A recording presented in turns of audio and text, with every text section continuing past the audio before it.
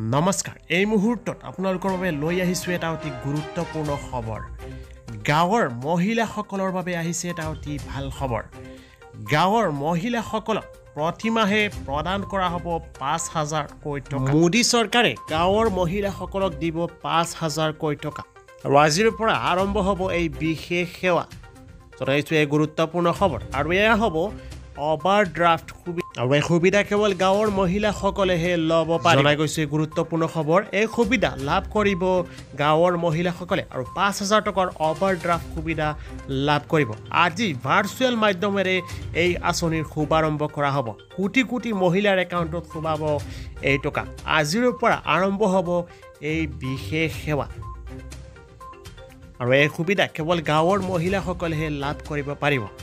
পাঁচ হাজাৰ টকাৰ অভাৰ ড্ৰাফ্ট সুবিধা মহিলাসকলে লাভ কৰিব। এতিয়া শেষলৈকে চোৱাৰ বাবে ধন্যবাদ। ভিডিঅ'টো সকলো মানুহে চলে শ্বেয়াৰ কৰিব আৰু ভিডিঅ' চাই ভাল পালে লাইক কৰিব আৰু কমেণ্ট কৰি যাব পাৰে ভিডিঅ' চাই কেনেকুৱা পাৰে নতুনকৈ চাই থাকিলে চেনেলটো ছাবস্ক্ৰাইব পুনৰ কালি আকৌ এটা নতুন ভিডিঅ'ত লগ পোৱাৰ আশাৰে জয় হিন্দ জয় আই অসম।